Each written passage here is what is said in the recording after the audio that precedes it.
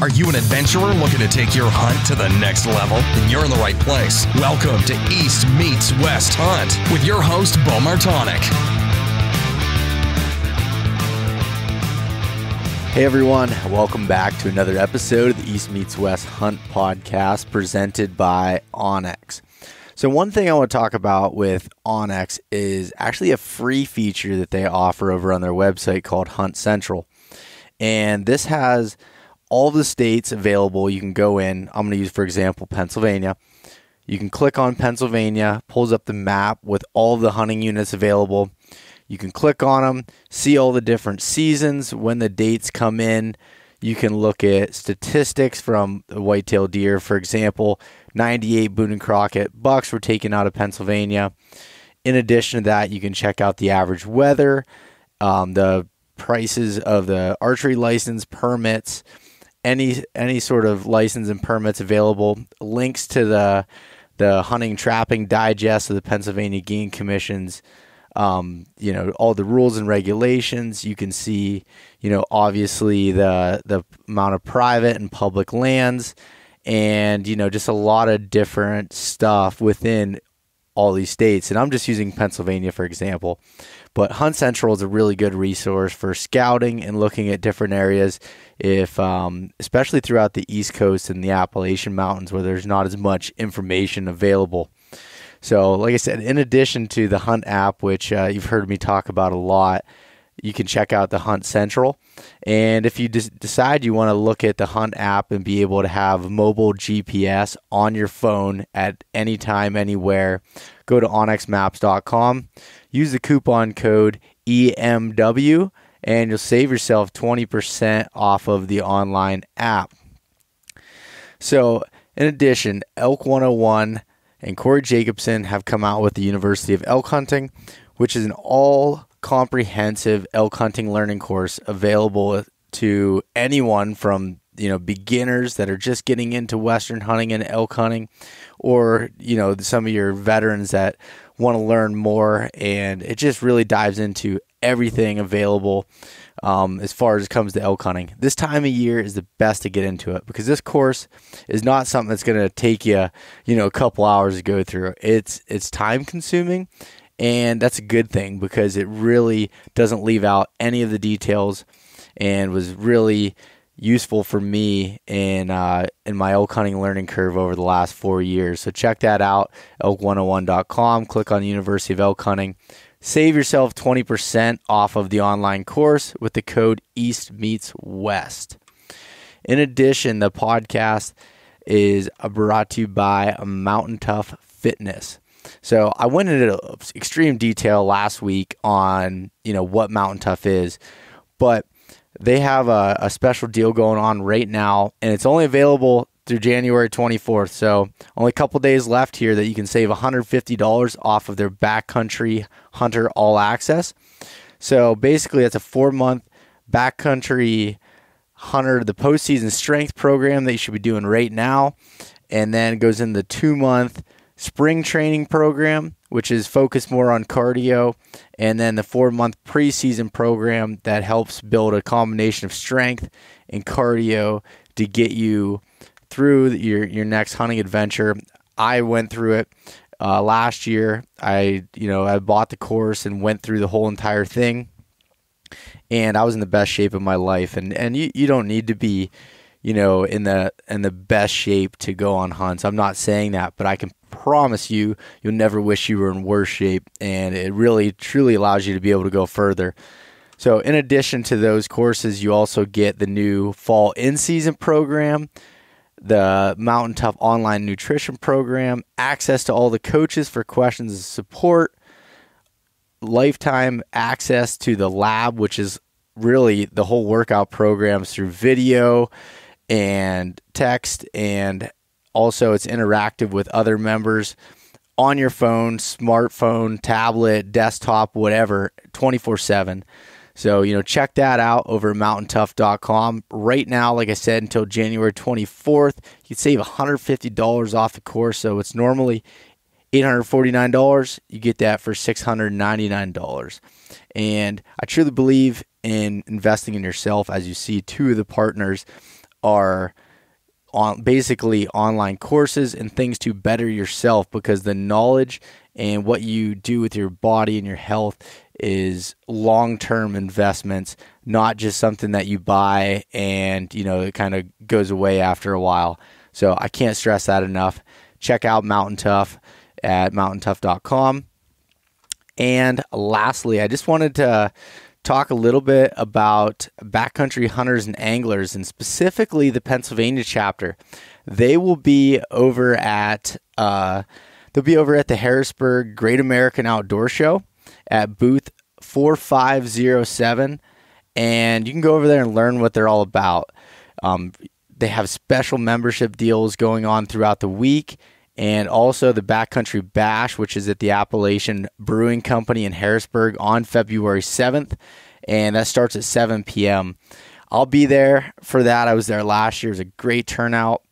Uh, we're talking about doing some special things there. Not sure if it's going to happen, but uh, um, who knows? I'm not going to talk about it yet, but there might be some really cool things going on at the the Backcountry Bash. So, anyways, I'm a big proponent of protecting public lands, and which is you know the majority of what I hunt, and what uh, a lot of you do as well. Backcountry hunters and anglers is at the leading edge of the conservation of these public lands.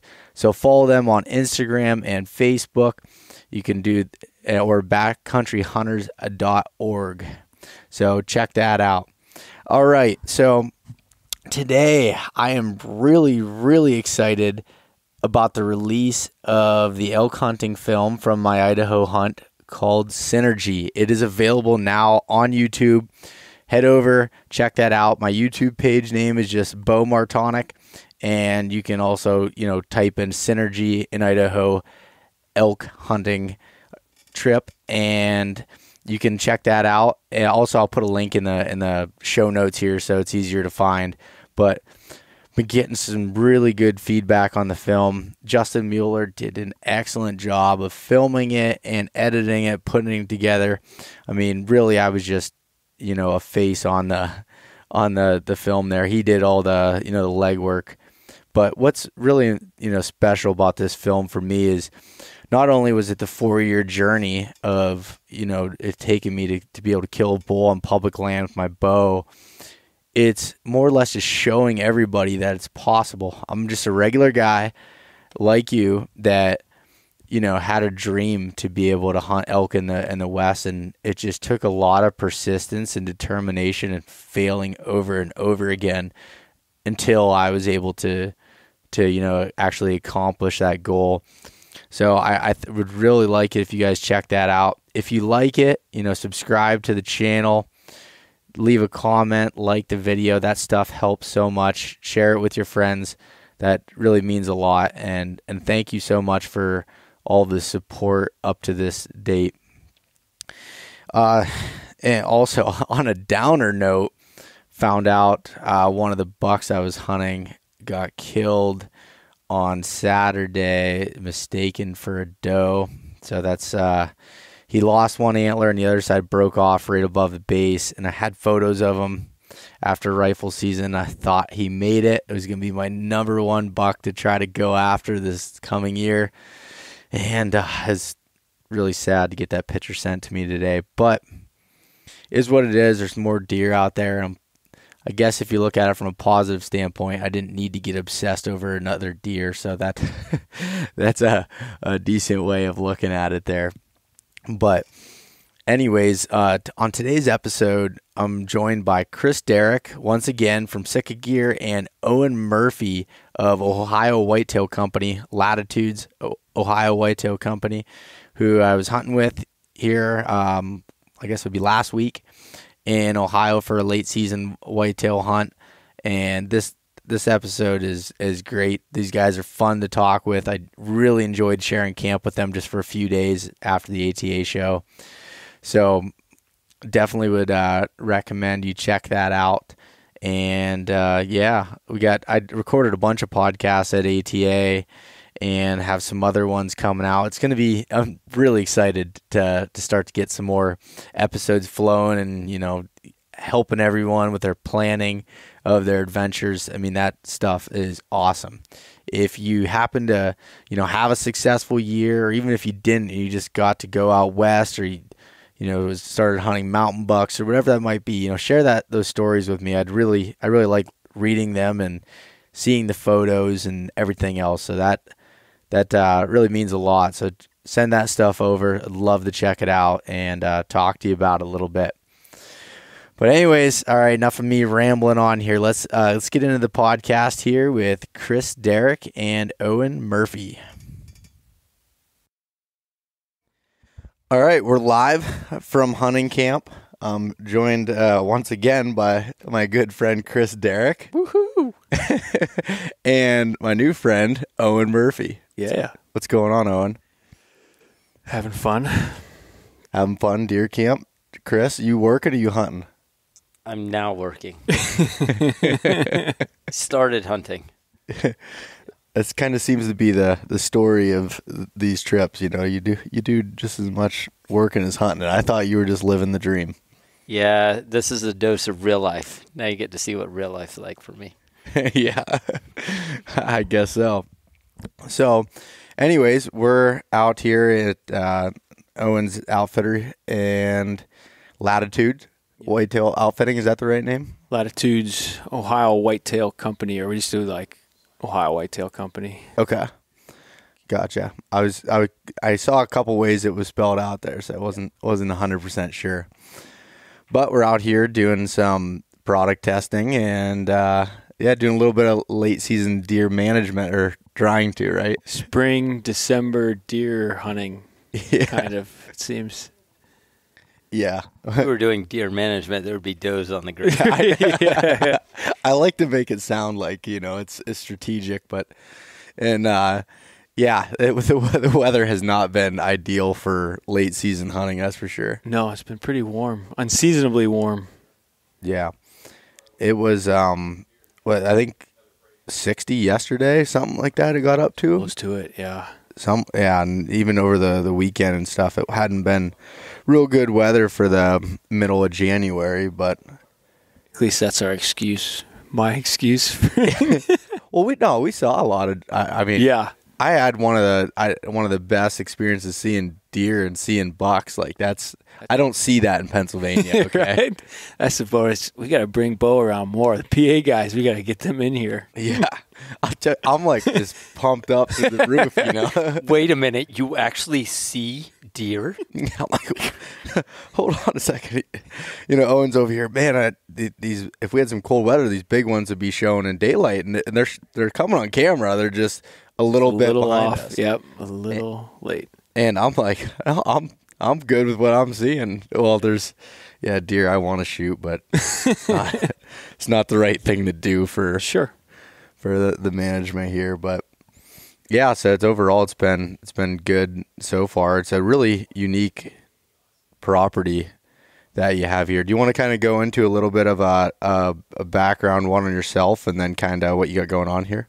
Yes, we, uh, I guess, I was able, fortunate enough to get the opportunity to uh, help run, manage this place for you know the whitetail and turkey of things, but you know, focus being on whitetails uh, about three years ago, uh, and Chris actually uh, was one of, I guess, probably fir- one of the first guys turn of the year to come down um, with a few other guys from Sitka and do some bow slash muzzleloader hunting. And, but we had just kind of got the key, so it was kind of throwing darts against the wall and hoping for the best. Which it was super cold then, and we saw. I think we still saw a lot of deer. I mean, We had opportunities. I mean, it was it was great. It was just that was the first year you were trying to figure out. just What yeah, was on just the taking place stabs at you know looking at topographical maps and aerials and all that, and going that looks good and.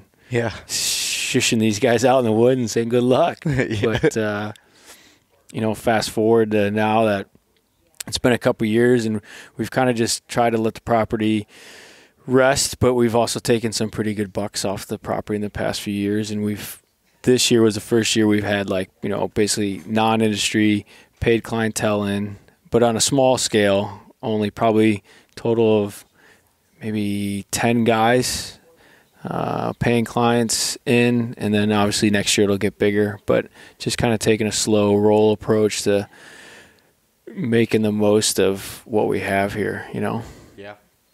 How many acres uh, is the total that you made? it's close to five thousand total, and it's all. I guess that's our our marketing piece, our selling point, and the neat thing is it's mostly all timber. Um, but most of it's in Ohio, and then I think it's close, roughly close to four or five hundred acres that is in Pennsylvania. Okay. the- you know, the Ohio PA border kind of runs down.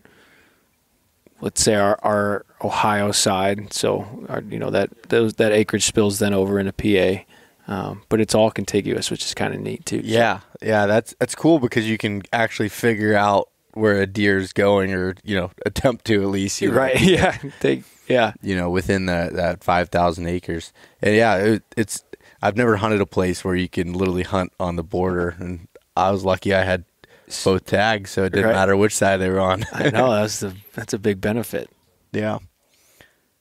So tell me a little bit more about the, I guess the the property, because my first impressions of seeing it was that there's so much diversity with the terrain, the vegetation. Like I mean, you can get your you can get your Midwest farm country. Yeah. You can get your big woods style. You know, you got some terrain, big hardwood ridges, Yep. and everything else. Yeah, so somebody, you know, a lot they've been it's been logged over the years, so you get some nice old growth, and then you get some certain areas that have that good understory kind of, and then there's some great topography here with river bottoms and just you know fingers and valleys, and the deer obviously, you know, obviously you being from PA too can appreciate that the topography really plays a big role in that open timber type stuff of how they use that to their advantage to get to where to and from where they need to be, but um, the property's been managed just to almost keep it, you know, besides the logging and whatnot, to keep it the way it is. And we were fortunate enough to be able to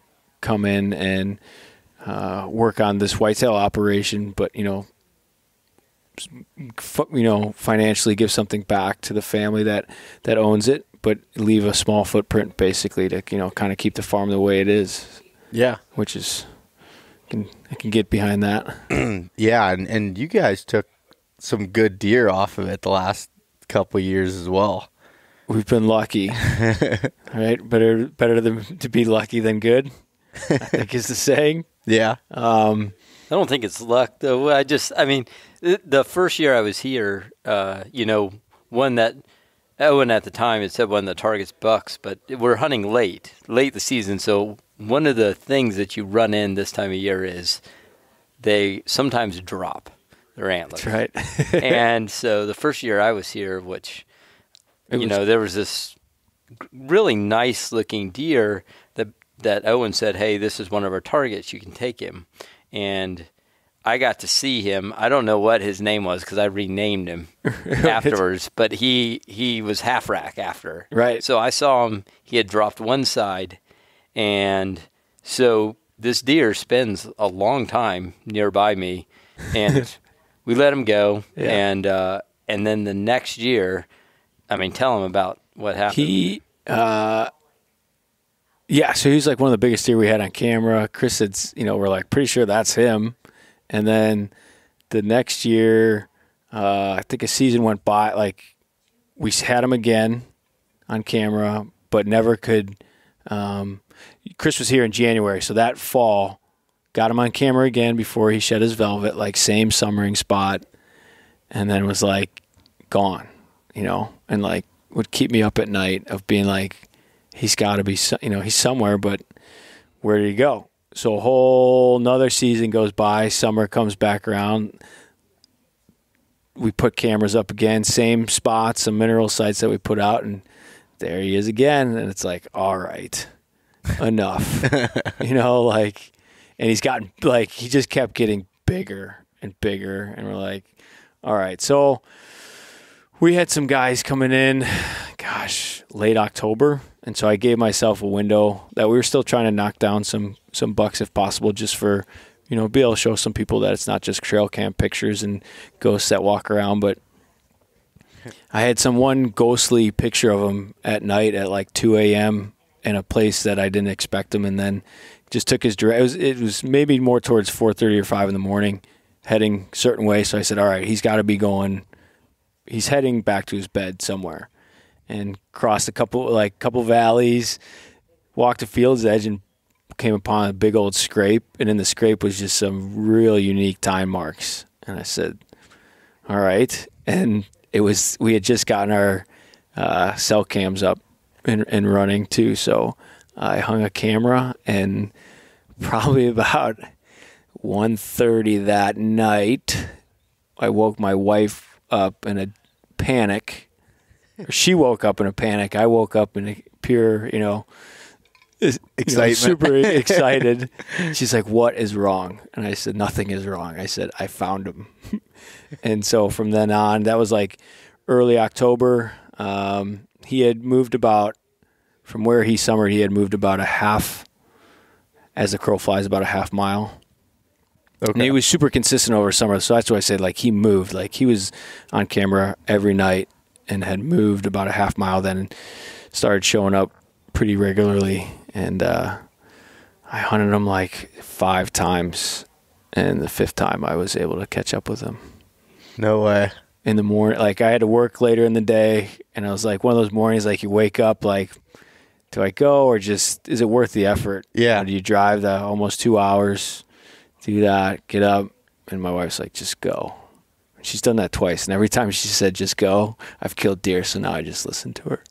but it worked out. The deer showed like it was one of those mornings like he was the first deer that showed up, and it, like he did like a double take, like really Yeah. and uh, luckily it all it all kind of worked out. But it started with when those guys first kind of rolled in and put eyes on him.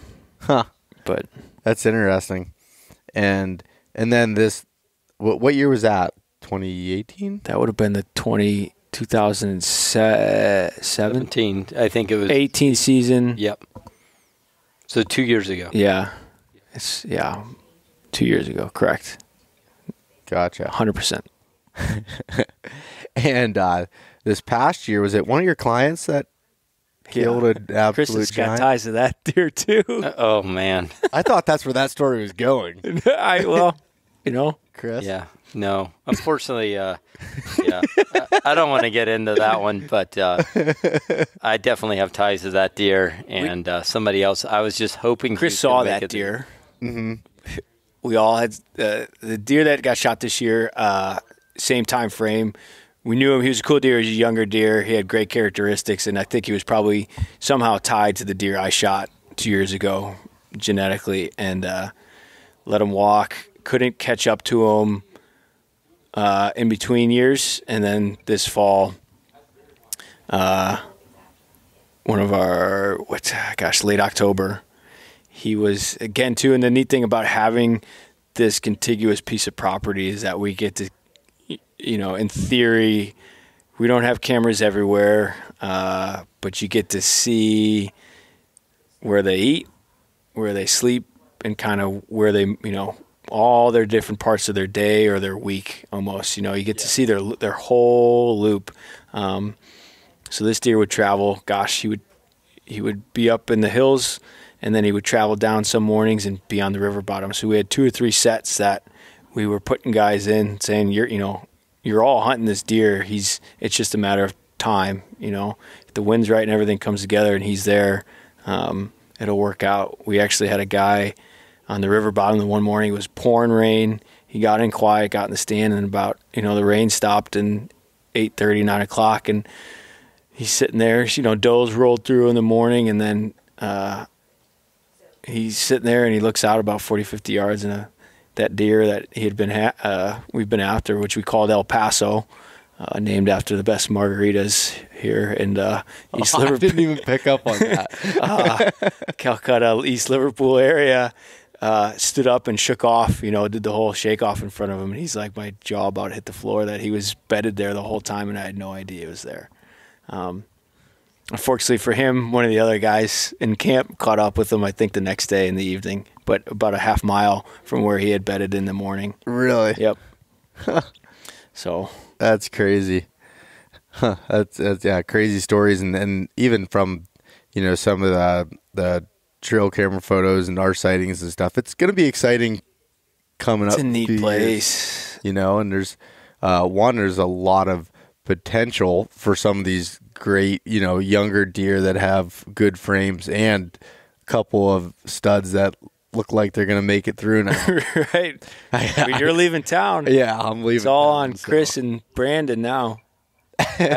yeah, I don't know if I'm going to get to go out again, so we'll have to see. I've got uh, actual product work to do, but uh, Uh, We know who all who does all the heavy lifting on that end. maybe I'll sneak out one more time. It's hard not to. I'm trying to find excuses right now. That's so right. yeah. We're, we're ahead of schedule, right, guys? So to um to kind of go into that the you know the purpose of you know this trip and everything, Owen, both you and I have been doing you know product testing for Chris and and Sitka Gear, and that was one of the the things. Chris, you came out and worked with me on a new a new uh, pack that's going to be coming out here in in 2020, and that's been creating a lot of buzz. Once we got the okay to start sharing some photos with zero details attached to them. Yes. So we can talk about it somewhat, and uh, um, but uh, yeah, actually, what's kind of interesting is one of the first places that I used the earlier prototypes was at Owens uh, several years ago, and um, uh, and so we did a hang and hunt uh, up actually where I saw half rack. I don't know what do you call that deer later. OG.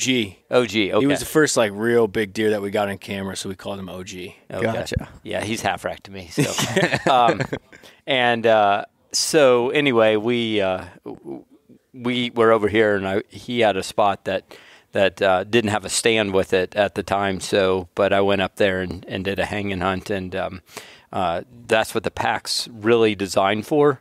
Um, so if you're doing a lot of the public land style stuff where maybe you don't want to leave your stand or you're not allowed to leave your stand in the woods, um, it's a it's a great pack for that. Um, and so the way it's designed, it's it's our largest capacity pack. Uh, has a really nice way of carrying sticks separately, um, and uh, and then you can sandwich uh, a stand in the pack as well. Um, so if you're going to carry something like a, a lone wolf or a climber or something else uh, in, you can you can do that. And then you, you and I were we started the saddle thing, and and that's where man when you're doing mobile hunting now using those tethered um, saddles, it, it's even nicer, I'd say. Yeah, yeah. That um, we you know I I've been using the pack now for two years as it's been going through its iterations and changes, and I feel like I have it dialed down, like on just set up for mobile hunting. I mean, this year I hunted 100 percent without fixed stands, always carrying in and out, and whether that be a stand or the saddle, and it's extremely efficient. That was one of the things that when we were going through the designs, one of the things that, that I was saying was it has to be easy to be able to take apart in the dark, be able to put it back together, be you know quick, and be able to carry the weight comfortably. And I think it's I think it's there. Yeah, we actually held it too uh, when we started. It it wasn't there, um, so we spent an extra year just fine tuning and getting everything right. So that's one of the things when we don't feel like something's right, there's not pressure to bring it out. We can hold it longer to make sure things things are right. So we you know we spent a little bit extra time, but. Um, that one's been a fun one to work on. It's it's a really specialist. If you got to carry a lot of cargo, it's the type of uh, pack that you'd want to do. So um, Yeah. you know, it it, uh, it it's fun and and getting to spend some time with you hunting in PA this year uh, and and going out in your neck of the woods and actually using it was was great and and was able to actually even take um, go out and hunt. I spent most of the front half of the week actually doing regular work, but Yeah. I did get at the end to spend a day going and actually got to fill one Yeah. a tag in PA, so that was nice. yeah, because when we recorded that the hundredth episode, you know, with you there, that was a couple days prior to you actually being able to to get a buck. Then Yeah, it was, and uh, Did you guys did you guys d- discuss that?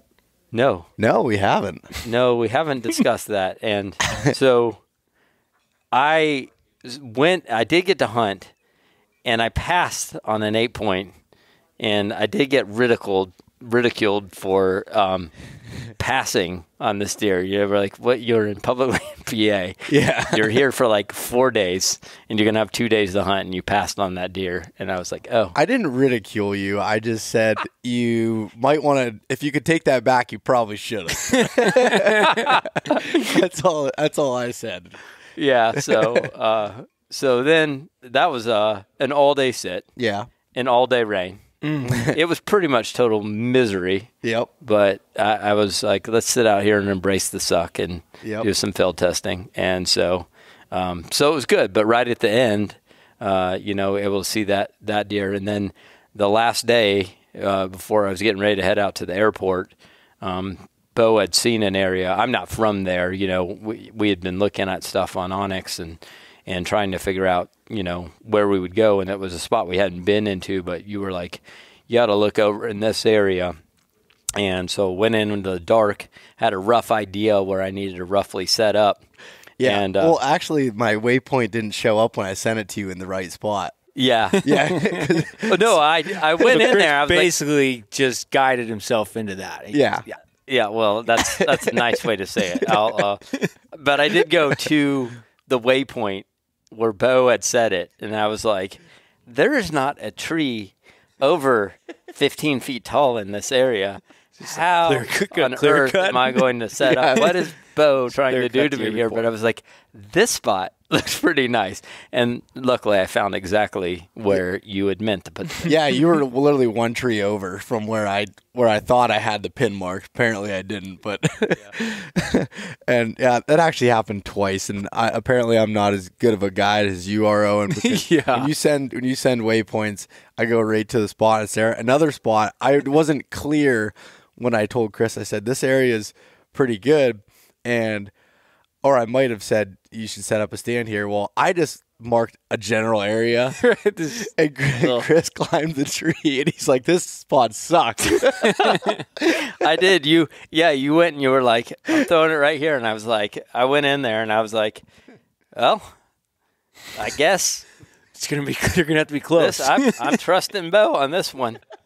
That was the day before that. yeah, And that was like straight grapple, snow, sleet, rain day. Yeah. And uh, that was that afternoon. And that was, um, that was pretty miserable. And uh, um, so I came back and I was like, Beau, that I didn't know how I, I what was supposed to happen. You were like, no, no, that was just the general area. Yeah. like, And, oh, and he okay. was trying to say it in a nice way, like Right. That sucked. As but uh, polite and, as Chris is. yeah, and he's usually not very polite, so I was kind of surprised by that.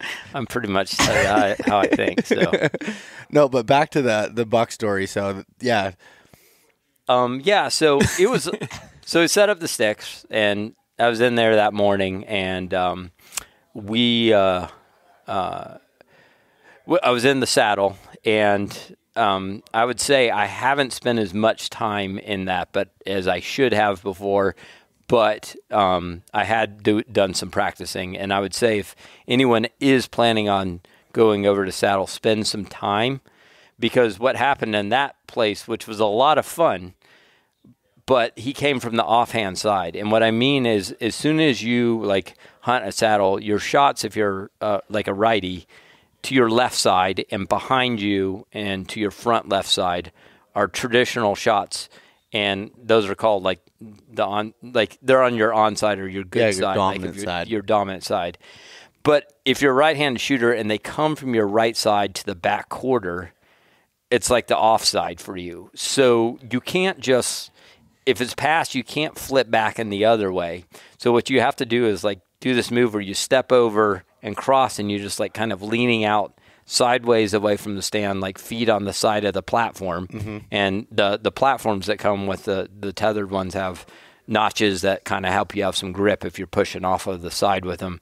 And so he came in, you know, roughly 30 yards off the offhand side, reached across my body, pulled back, and I shot, and I felt like it was a little bit back. Um, and I saw him run out, and he laid down for a while, and then got up and walked over and laid down again. And so I was like, let's back out. So we backed out for the day, for the afternoon, and Beau and I and his dad went back that evening, and he had only gone another 40 yards. Yeah, yeah. But I felt like it was the right thing to do was just to go out because I knew if I pushed him, we were going to be in, in big trouble. But the, Yeah. the good thing it was a better place than I had hoped. So Yeah. at least he only went a little bit further. So- Yeah, and and it was it was easy as far as the blood trailing with the snow and Yeah. everything that made it that made it nice. So we um we went uh so anyways yeah we found it and and drug it out and that's where I I didn't have the key to that camera at the time. Then went back a couple months later and I sent you that photo where us or you and my dad dragging it out through there. And uh, yeah, that was that was a fun that was a fun hunt. Yeah, I, I, I had a, a great time and be able to come and, and actually hunt public land PA. Yeah, um, and be able to, to get something done. That was that was nice, especially with only having roughly two days uh, in Yeah. the stand. I thought that was a lot of fun. So Yeah. appreciate you taking me out there so and showing me around. No, no problem. That, but um, yeah, with that pack, and again, like the the a lot of the reason behind that trip and everything, it's it's cool to me, and I've talked about it before, but with being able to you know work with a company like Sitka that doesn't you know cut corners on anything and aren't you know you're not going to release the product until it's 100% right. It, it was it's painful like when you see something at the beginning stages and knowing it's not going to be you know released for up to you know three years or you know however long it takes really to get it get it done. But i'm really excited for the the finished product uh, to come out. Like you said it's it's specialized. It's going to be for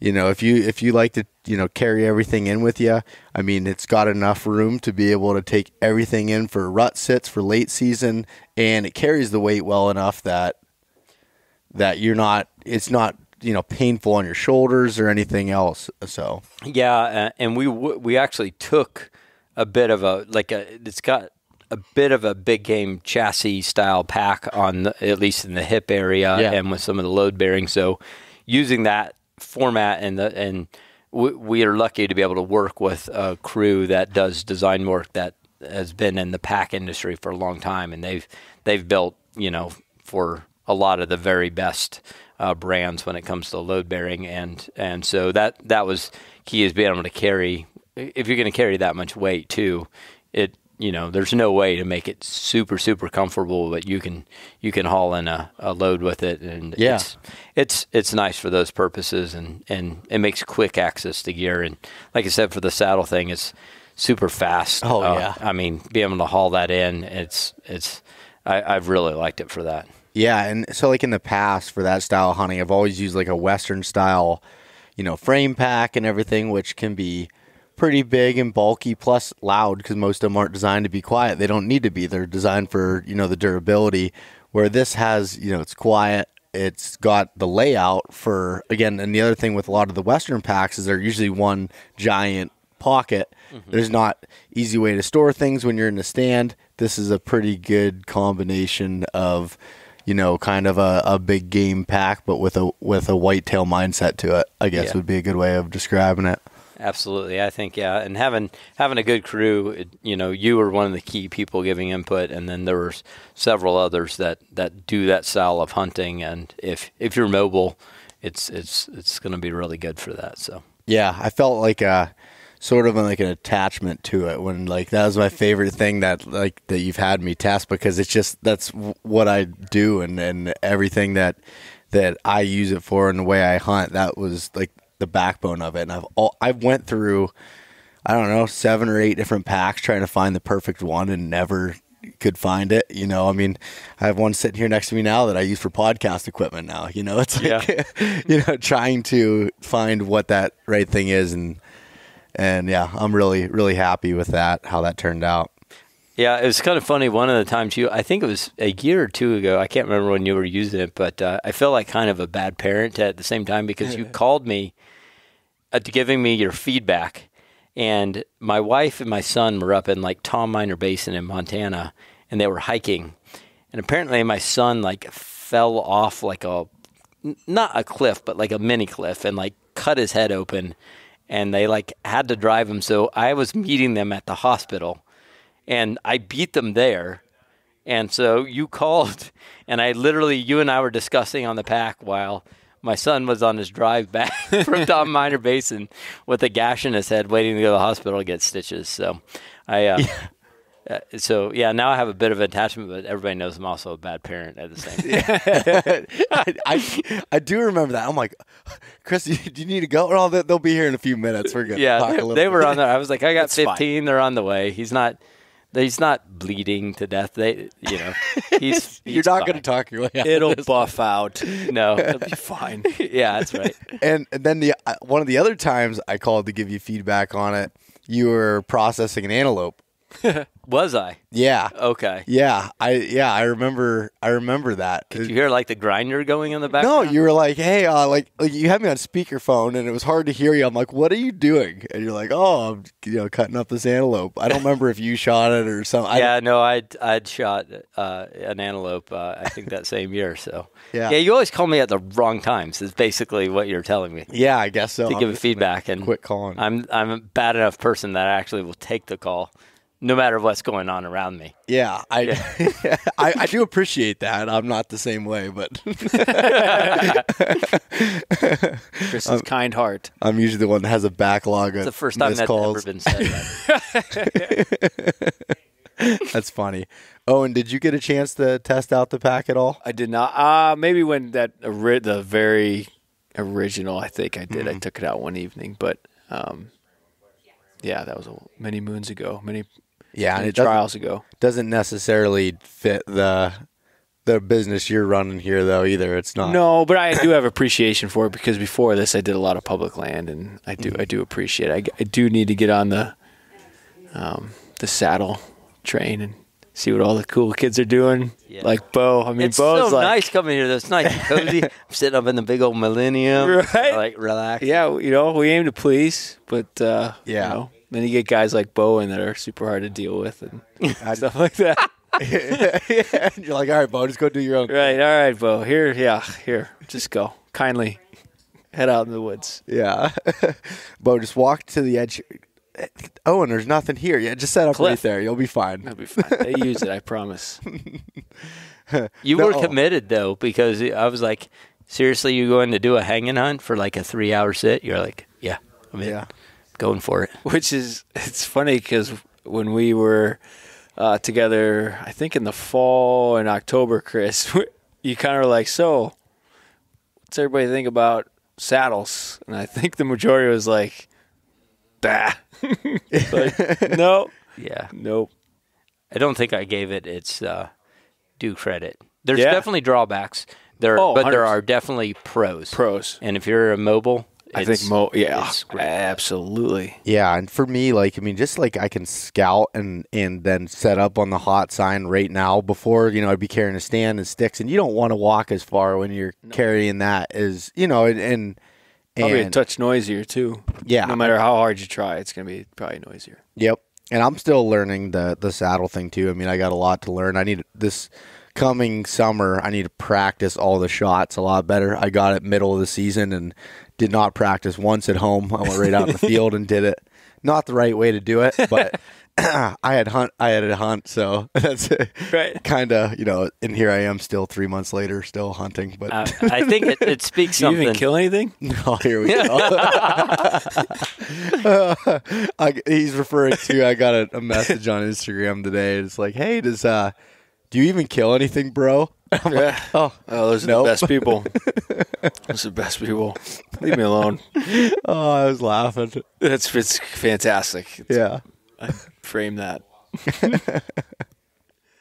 but yeah. So, um, but yeah, I guess the the moral of that story is that it's been it's been good getting to be able to work on that pack and everything else. Some exciting things coming in in future years. So Yeah, it's awesome having you guys both give input. So everybody has their own their own take and or their own style. Um, nobody's going to think of things the two the same way. So it's it's good. I like to have lots of hands yeah, involved in it because I, I definitely have my biases, and I'll Yeah. I'll uh, say you know But "Th- you're this is the way I do it. You're also super diligent in in what you do.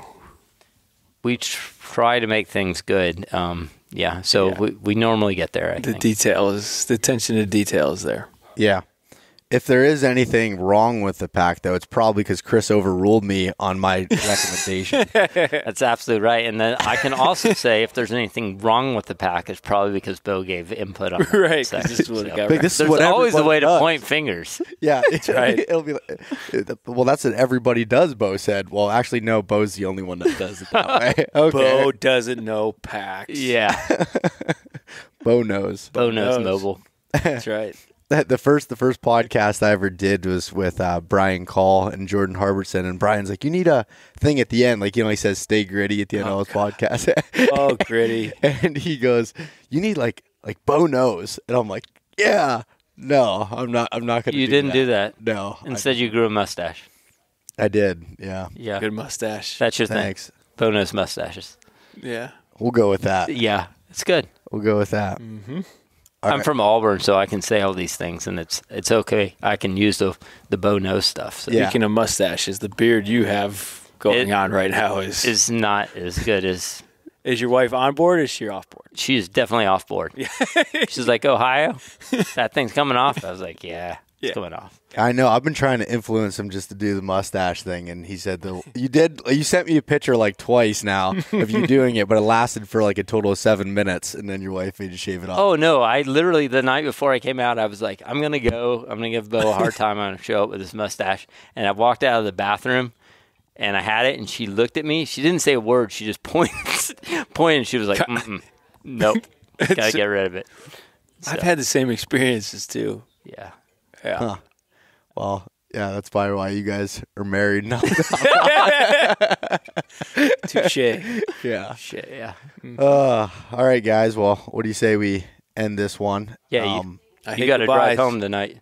I Yeah. hate goodbyes. yeah. So I guess the last thing I would ask is, Owen, can you tell everyone where they can find more information about latitudes and how they can, you know, I guess get a hold of you if they're Get a hold of interested in hunting? Yeah, you can. Uh, we do have a website, which we basically direct if anybody has any questions. We have some stuff up there, but um, OhioWhitetailCompany.com. Uh, for pricing and everything, we just ask for dates just because things are kind of ever changing. Just give us a buzz and or at Latitudes Ohio Whitetail Company, just CO. Uh, it's long, it's a mouthful, but uh, you can find us on the InstaFace, Instagram, all that stuff. But uh, I got to keep up on that. It's been a little while. Yeah. But- Season's wrapping up, so we'll post some photos from the fall. Look forward to turkeys and uh, sheds, and away we go again. Yeah. Don't tell anybody it's turkeys. We haven't seen any of them. No turkeys. There's no turkeys here. Not a single one. yeah. Yeah, there's a few of them. Oh man. So, we'll appreciate you coming out too. It's been awesome to help yeah. you guys. Yeah. Th- thank you very much. We'll pray for cold next time. Yeah. It's coming next week. That's right. Should have been here next week. Next week Yep. looks great. Yep. He'll be. uh Owen will come out to check cameras and see me sitting in the tree. That's right. What? Oh, Cold Bo's front back. Beau's here. That's right. All right, guys. We'll talk to you later. Thanks, Beau. Thanks so much for listening to this episode of East Meets West Hunt with your host, Beau Martonik. For more great content and to stay up to date, visit eastmeetswesthunt.com, Facebook at East Meets West Outdoors, and Instagram at East Meets West Hunt. If you enjoyed today's episode, please review and subscribe, and we'll catch you next time.